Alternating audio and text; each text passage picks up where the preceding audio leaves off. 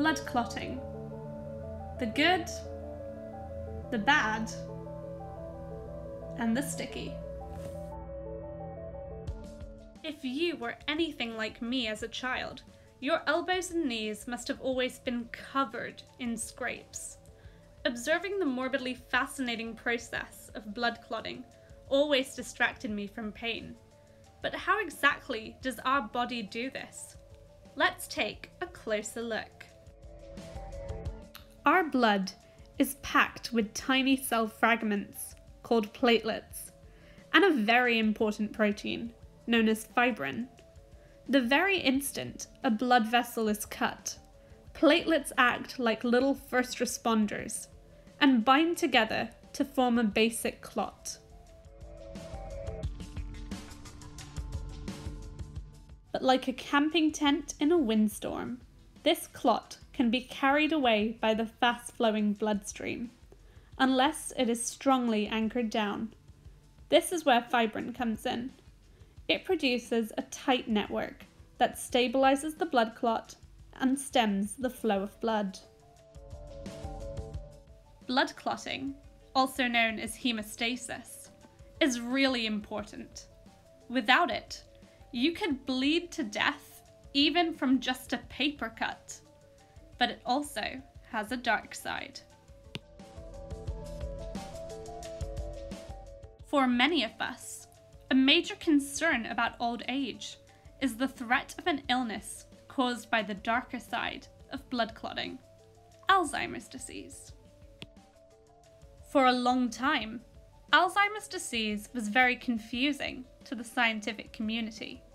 It seemed to be caused by two very different things reduced blood flow to the brain and the formation of amyloid beta plaques between brain cells. Just as fibrin bridges adjacent platelets, it might bridge these two very different hypotheses. Fibrin shouldn't even be in the brain. It's meant to be filtered out by the blood brain barrier, but it can accumulate and end up weakening the barrier, squeezing past the cells that make up the barrier walls, and entering the brain, causing all sorts of havoc. In healthy brains, your brain cells, known as neurons, can transfer information through gaps called synapses. Amyloid beta protein might be present in the synapse, but it does not affect the transfer of information. Fibrin changes all that. It binds to all the amyloid beta proteins and forms the infamous plaques, which clog up the synapses preventing information from going from one brain cell to the next. Amyloid beta, in turn, makes fibrin stickier, so it binds to passing red blood cells, forming large sticky clots which reduce blood flow to the brain. Biochemists are now developing drugs to prevent amyloid beta binding to fibrin to stop Alzheimer's disease.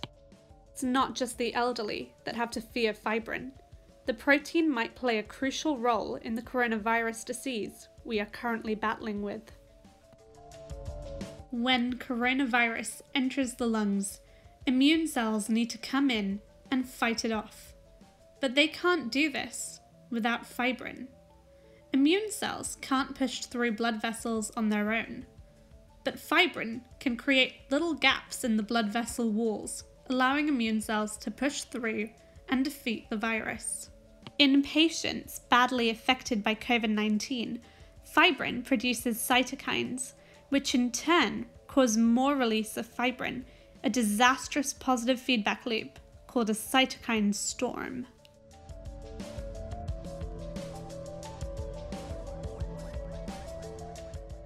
When fibrin gets hyperactive, it can make blood vessels leak and lungs scar up. On the bright side, this research has already reached hospitals and benefited patients' lives.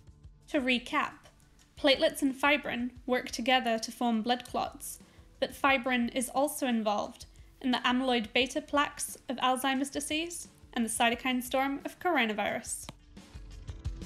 Want to learn more about blood clotting? Check out my blog, link in the description.